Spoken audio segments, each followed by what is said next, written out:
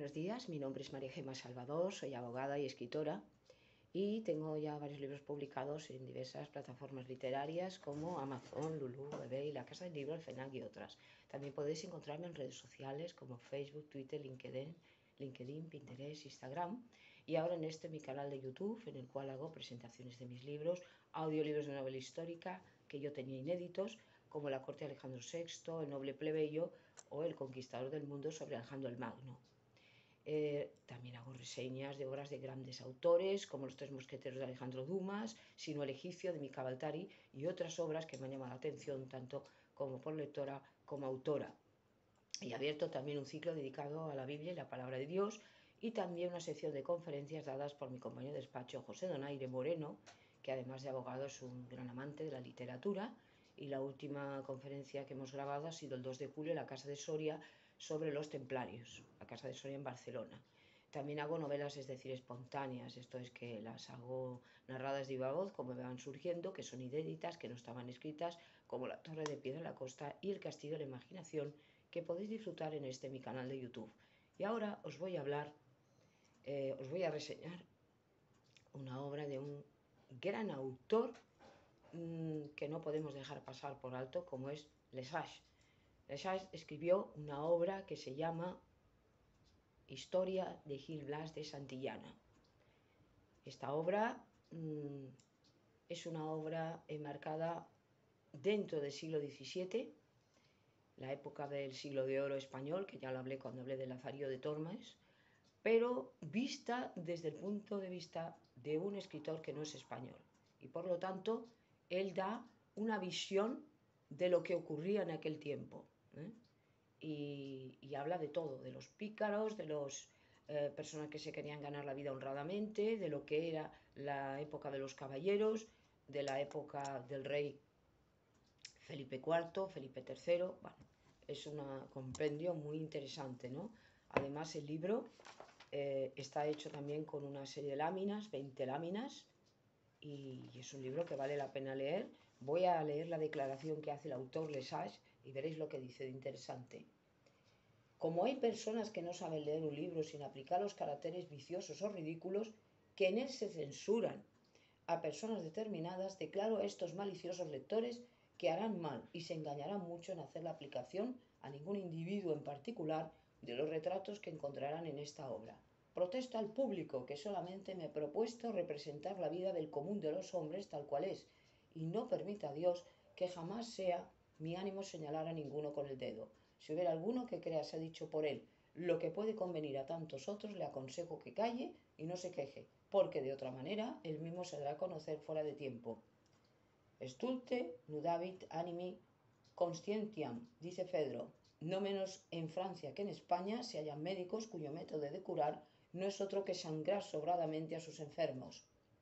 Los vicios y los originales ridículos son de todas las naciones, Confieso que no siempre describí exactamente las costumbres españolas. Por ejemplo, los que saben cómo viven en Madrid, los comediantes, quizás me notarán de haberlos pintado con colores demasiadamente mitigados, pero creí deber hacerlo así porque fuesen algo más parecidos a los nuestros. Bueno, es un autor evidentemente francés. Y luego esta obra fue traducida por el padre Isla. Sabed que en aquel tiempo esta obra eh, fue escrita en 1856, bueno, esta obra eh, necesitaba el Nil Ostad, eh, que no había ningún obstáculo, porque la iglesia evidentemente miraba mucho lo que era estas obras. Es una obra, sinceramente, impresionante, pero impresionante en todo, ¿no? Mirad las imágenes tan preciosas que tiene, pero es que es impresionante porque nos describe exactamente la vida de un pobre chico, Gil Blas, que sale de su casa para tener fortuna. ¿eh? Blas de Santillana, mi padre, después de haber servido muchos años en los ejércitos de la monarquía española, se retiró al lugar donde había nacido, casóse con una aldeana y yo nací al mundo diez meses después de que se habían casado. Pasaron a vivir a Oviedo, donde mi madre se acomodó por ama de gobierno y mi padre por escudero. Me recuerda un poco el Lazarillo de Tormes, pero evidentemente no tan miserable, ¿no? Pero es verdad que Gil Blas le pasa una serie de cosas tremendas. Eh, es raptado por unos bandidos, tiene que vivir con ellos, luego su ingenio le hace que surja o que salga de allí, se convierte en el amo de un, digo, en el criado de un, primero de un médico, de un sacerdote, bueno, va pasando por diversos amos, fijaos, ¿no? Las imágenes tan bonitas, es un libro precioso. Y luego él va teniendo lances con una serie de damas, unas más buenas, otras más malas.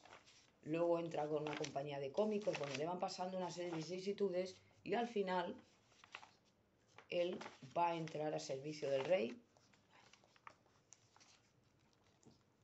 Los reyes en aquella época, preciosas, ¿no? Las láminas, las láminas son hermosísimas. Es una obra que se puede disfrutar muchísimo, es una obra muy buscada, porque es muy curiosa y la verdad que si tenéis la oportunidad de conseguirla, leerla, porque os vais a divertir, ¿no?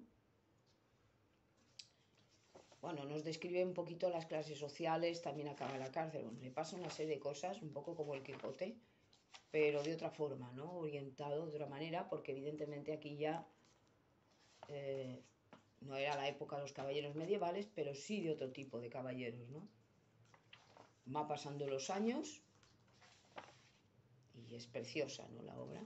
Luego él contrae matrimonio, bueno, pues son las historias que le van pasando pero narradas de una manera muy particular y muy adaptadas a esa época, ¿no? Nos explica la aristocracia, la burguesía, la clase media, la clase obrera, todavía el siglo XVII era muy diferente al nuestro.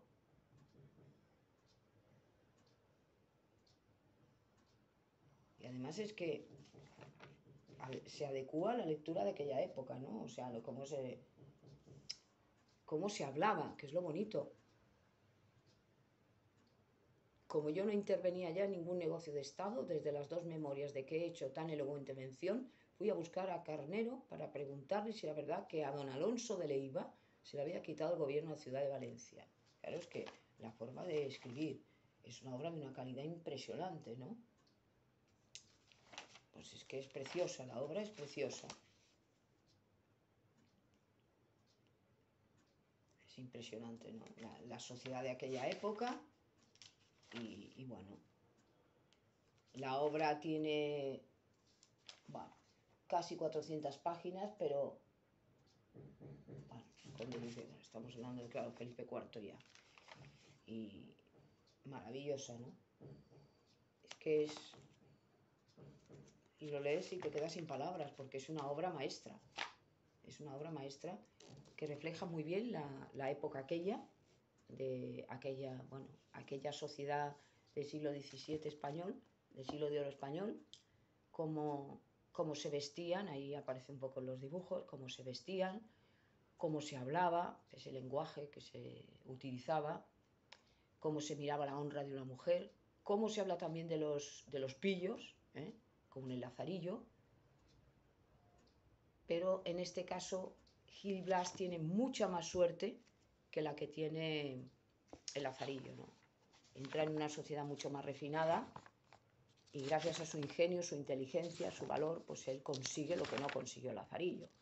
Consiguió entrar en la corte, consiguió ver que además él dice que bueno, todo esto de los grandes señores era muy bonito, pero que en realidad adolecían de muchas faltas, de muchas de muchos defectos hablan de los favores del primer ministro, del conde duque, del rey y tal, y nos los demuestra prácticamente como eran. También, claro, el mismo Lesage nos dice que hay cosas que no son exactas, pero que en realidad la España del siglo XVII, la España de Francia, eh, digo, es la sociedad francesa y la sociedad que había en aquel tiempo, ¿no? no podemos olvidar que fuera de aquí, en otras en otras latitudes, en otros países, en otros estados, en otros sitios, pues había una diferencia tremendísima, ¿no? Siglo XVII, la época ya de los puritanos en América, cuando van allí a, digamos, hablarles de la religión, de los protestantes,